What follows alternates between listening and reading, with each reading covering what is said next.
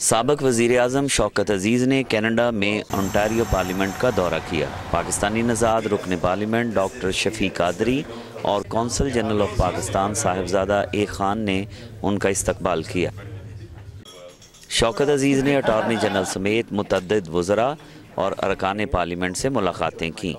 Parliament house में Pakistani community के एक वफद से गुफ्तु करते हुए सबक वज़ीर अजम शौकत अज़ीज़ ने पाकिस्तान की मौजूदा सियासी सूरत हाल पर तबादला ख्याल किया। Uh,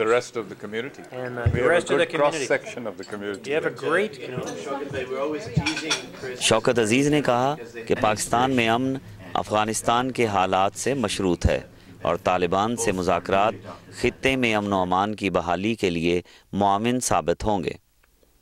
उन्होंने कम्युनिटी लीडरों के मुख्तलिफ़ सवालों के जवाब देते हुए कहा कि पाकिस्तान को मुख्तलिफ़ चैलेंजों का सामना है और मुल्की सूरत हाल के हवाले से मायूस नहीं होना चाहिए Pakistan's uh, people said 9/11. You know what what we did, what we didn't do.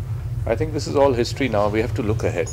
What we have to look ahead is where do we take the country in because this uh, security issue is the biggest challenge today. As we see every day, we have uh, issues.